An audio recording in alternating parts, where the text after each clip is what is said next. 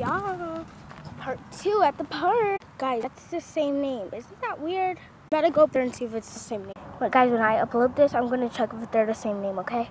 I guess since we're already here, I might as well go down the slide. We're about to end. Whee!